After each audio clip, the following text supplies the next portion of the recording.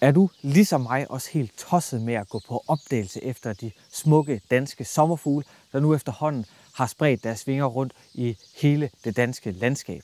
Men har du måske svært ved at kende dem fra hinanden, og er du måske ikke engang klar over, hvad det egentlig er, de hedder?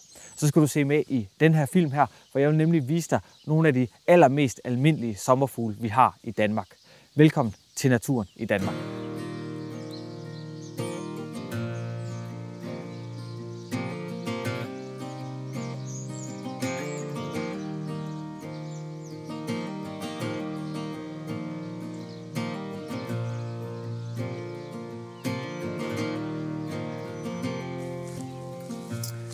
Og der lever altså ikke mindre end 66 forskellige arter af dagsommerfugle i Danmark.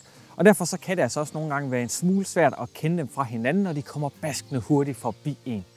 Men i den her film, der vil jeg som sagt vise jer fem af de nogle af de allermest almindelige dagsommerfugle i Danmark, for med en lille smule træning, så bliver det altså noget nemmere at kende dem fra hinanden.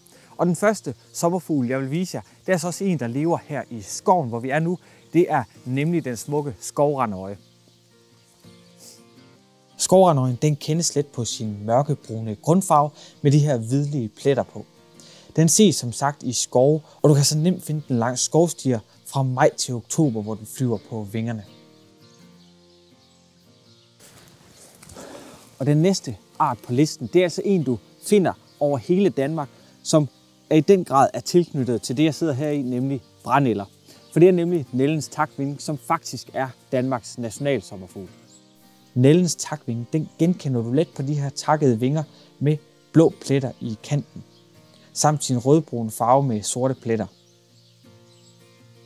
Den ses fra marts til juli, og du finder den som sagt alle steder i Danmark, hvor der findes nelle. For som navnet indikerer, så lever den altså af nelle, hvor stor nelle det er dens favorit.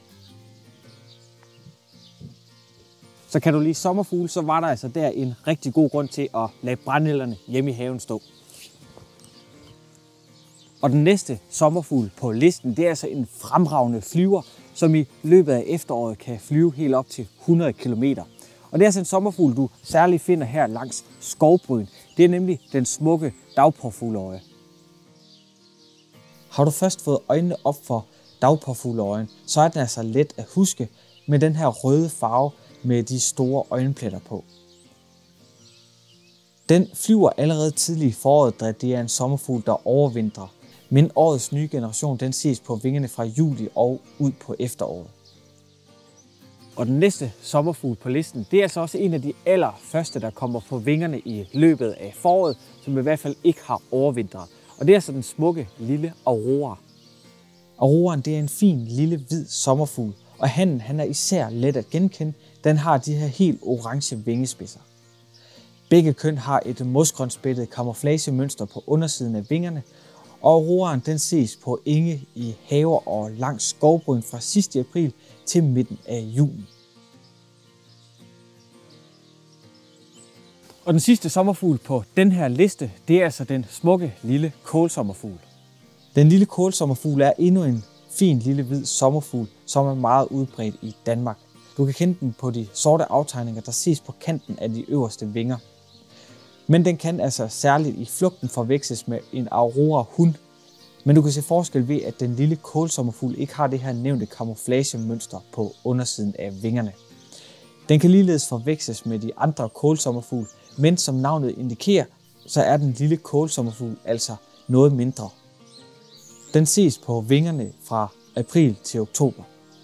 Ja, det var altså bare en kort lille gennemgang af nogle af de allermest almindelige sommerfuglearter, vi har i Danmark. Og nu gælder det sådan set bare om at komme ud i den virkelige verden og spotte dem derude, for det er sådan den eneste måde, hvorpå man lærer at genkende dem fra hinanden. Jeg håber, du kunne lide videoen og kunne bruge det til noget. Hvis du kunne, så smid dig lige et like og en kommentar. Og husk, hvis du ikke allerede gør det, så abonner dig på kanalen, for så er du klar på at få endnu mere info og viden om den smukke danske natur. Tusind tak, fordi du ser med. Vi ses derude.